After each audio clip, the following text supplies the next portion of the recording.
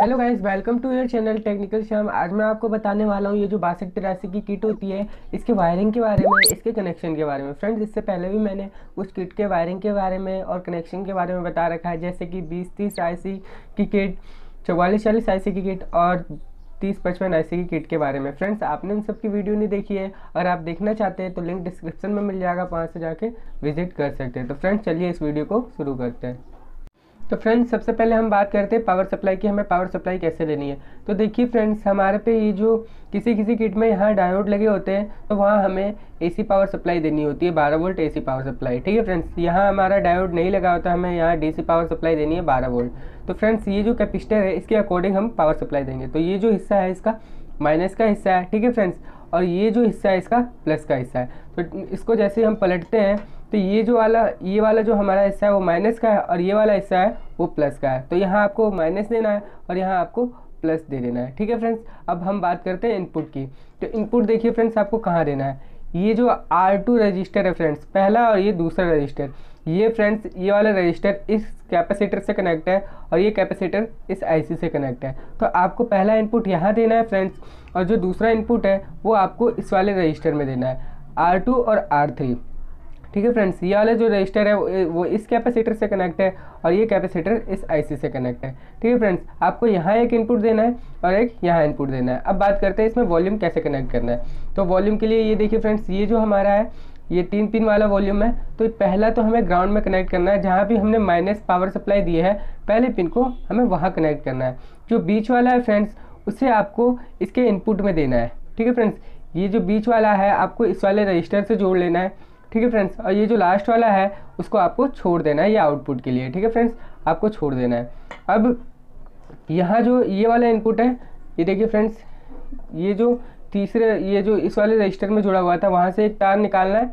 और ये जो इसका जो लास्ट वाला जोड़ा था, वहाँ से एक तार, ये जो हरा वाला तार है हमारा, उसे निकाल लेना है। तो फ्रेंड्स, इन दोनों में जो हमारा है ऑक्स की ऑक्स की तार जुड़ेंगे यहाँ पे एक जुड़ेगा और एक यहाँ जुड़ेगा और जो ग्राउंड हमारा है, वो इस वाले पिन में जुड़ जाएगा इस वाले में। तो फ्रेंड्स जहाँ तक मैंने ऐसा समझाया है कि आपको समझ में आ गया होगा, आप फिर भी समझ में ना हो तो एक बार कमेंट करके पूछ लेना।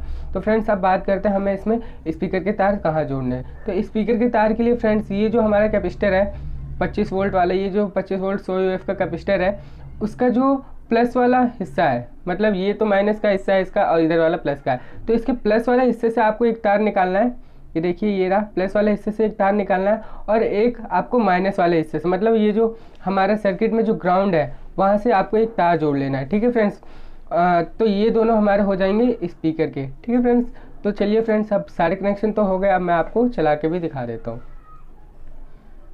तो फ्रेंड्स ये देखिए, हमने अपने सारे कनेक्शंस कर लिए हैं।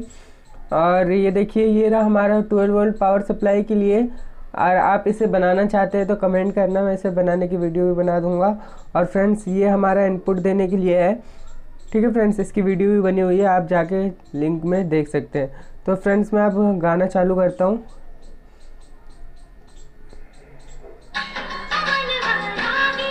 तो देखिए फ्रेंड्स अब मैं आपको वॉल्यूम कम ज़्यादा करके भी दिखाता हूँ।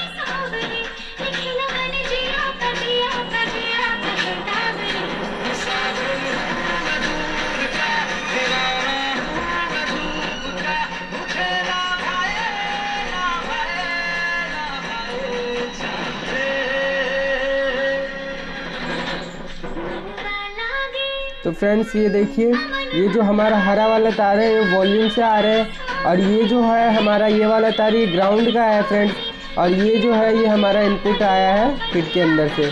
ठीक है फ्रेंड्स तो ये देखिए।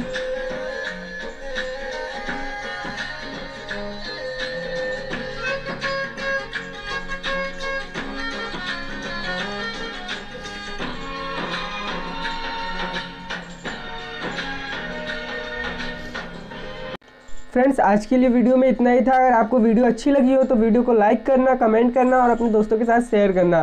फ्रेंड्स, ऐसी वीडियो देखने के लिए हमारे चैनल को सब्सक्राइब कर लेना और साथ ही नोटिफिकेशन बेल को भी ऑन कर लेना। फ्रेंड्स, जो भी किट में यूज़ करता हूँ, अगर आपको उसे परचेज़ करना है तो उसका भी लिंक आपको डिस्क्रिप्शन में मिल जाएगा, आप वहाँ से बाय कर सकते हो ऑनलाइन। तो फ्रेंड्स, चलिए मिलते हैं नेक्स्ट वीडियो में, तब तक के लिए बाय।